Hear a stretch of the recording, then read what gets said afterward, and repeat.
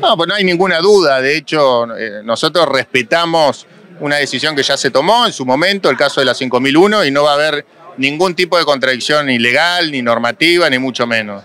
Eh, el pacto dice claramente los recursos, nosotros creemos que nuestros recursos tenemos que agregarle valor, pero en ningún momento se habla de minería, ni de eh, minería metalífera a cielo abierto, ni mucho menos.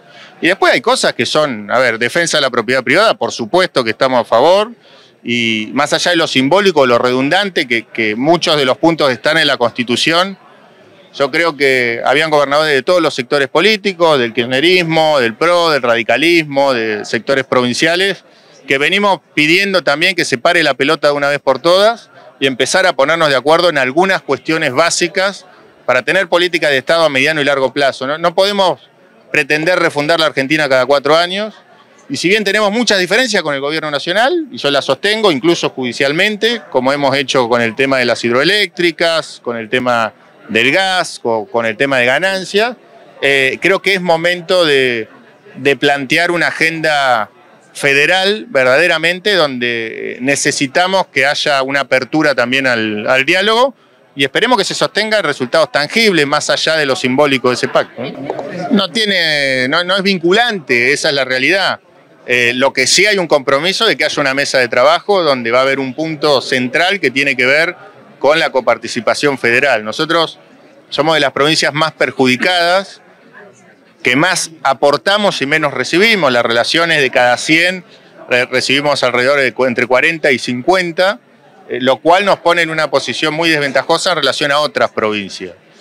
Y en esa discusión eh, tenemos mucho para plantear, porque la verdad que en estos últimos años, no solamente en materia de coparticipación federal, sino eh, solamente por el hecho de haber tenido pisado el barril criollo, el, famoso precio sostén, Chubut perdió más de 1.500 millones de dólares solamente por una decisión de sostener de manera artificial el precio del barril criollo.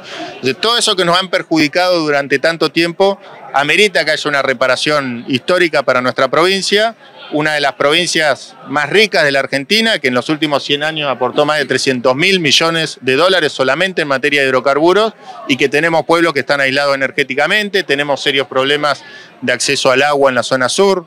Esas discusiones hay que darlas, no hay que esconderse. Y hay dos formas de ser oposición. Hay una que es el no por el no, el no caprichoso, mezquino y carroñero de querer eh, que a un gobierno le vaya mal para perpetuarse en el poder.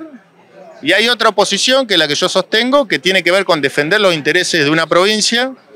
Cuando alguien atente contra esos intereses, plantarnos como nos plantamos en su momento, pero cuando haya una oportunidad concreta y consideremos que algo es favorable para la provincia, apoyarlo y ser vinculantes también en esa, en esa agenda.